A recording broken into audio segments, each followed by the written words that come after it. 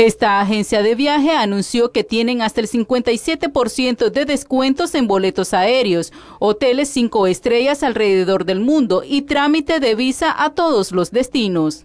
Cuento que tenemos muchísimas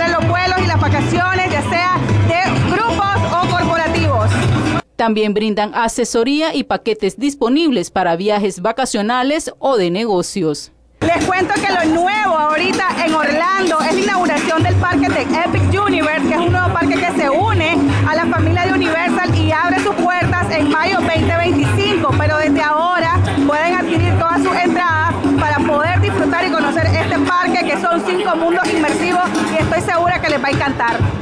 Les informó para Crónica TN8 Gabriela Guevara.